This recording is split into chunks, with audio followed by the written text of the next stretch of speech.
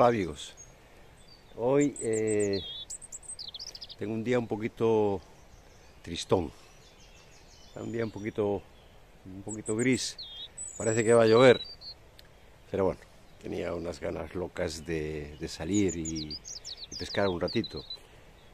hoy voy a pescar un poco eh, con las líneas de, PVC, eh, evidentemente con Tenkara. Eh, las líneas de PVC eh, con Tenkara mm, no están, tradicionalmente no están consideradas. Sin embargo, eh, aquí en Galicia, en, mi tierra, por el tipo de, ríos que yo tengo, son tablas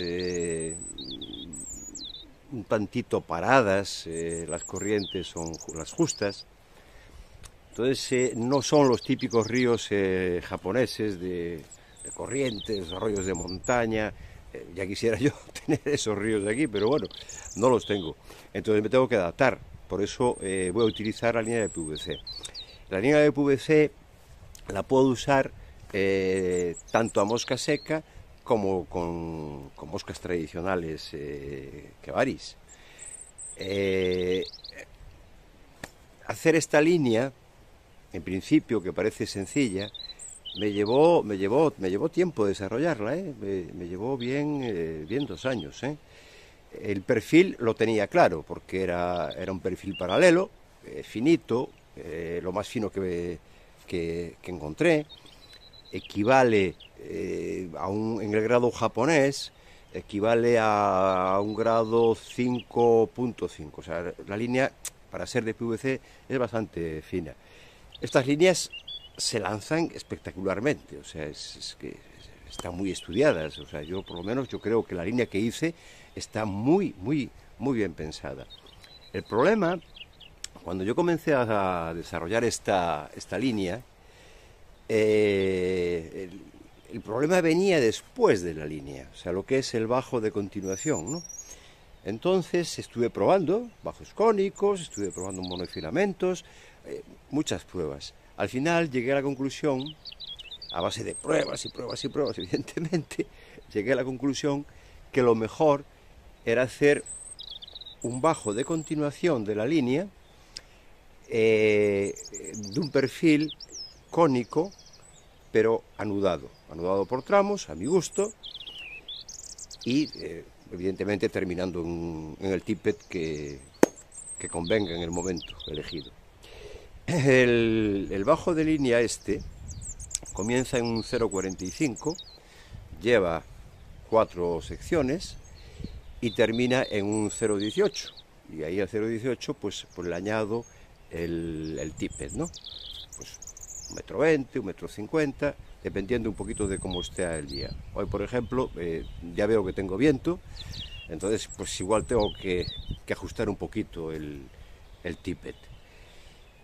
Y, nada más, o sea, voy a empezar a pescar, eh, eso sí, voy a comenzar con moscas de CDC, o sea, van a ser moscas secas, puras, al estilo occidental.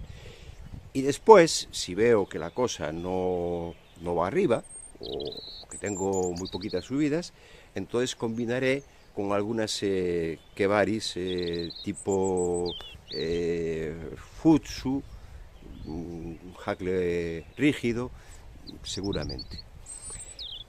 Cuando llegue a zonas de, corriente, porque bueno, tengo unas, unas, poquitas zonas de corriente, entonces voy a intercalar con, esta otra caña, traje, dos cañas hoy, voy a intercalar eh, y, pescar un poquito a, Kerju, Kerju el estilo eh, occidental, o sea, el estilo europeo, que se entiende. ¿Cómo se entiende esto? Bueno, pues, pues son, es una caña tenkara en este caso, y voy a utilizar eh, pues ninfas eh, de diseño típico europeo.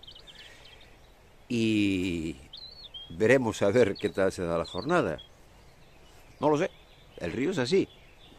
Cuando menos te lo, te lo esperas, pescas y cuando crees que va a ser un día idílico, pues no pescas nada. Vamos a ver qué tal.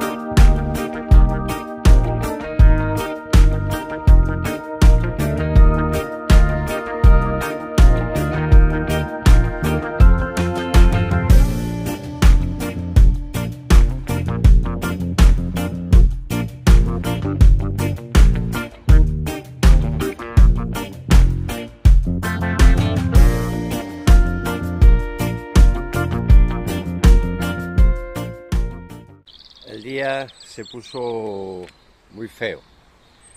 Eh, esas truchas no, no, están por la labor de subir a la, a la mosca seca. Entonces eh, vamos a, a, pasar al plan B.